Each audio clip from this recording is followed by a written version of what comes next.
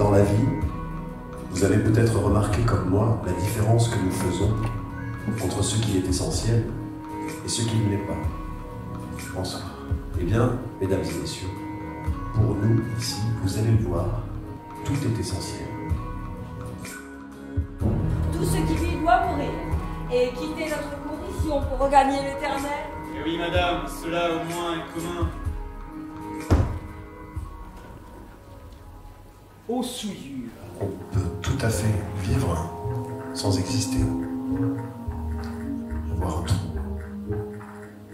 Un vide.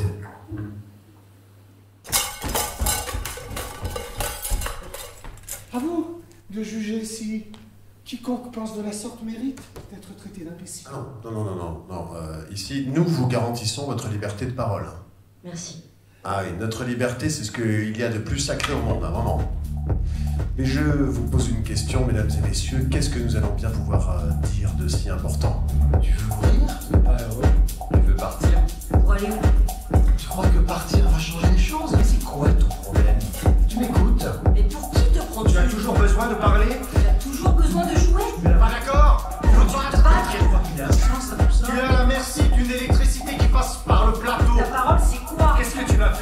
Tu ne sais pas faire autre chose. C'est un rapport au jeu. Quelles quelles en sont les règles Tu as peur. Tu penses que ça n'a pas d'importance Ça n'a pas d'importance pour toi. Pourquoi ça n'a pas d'importance. C'est quoi ton problème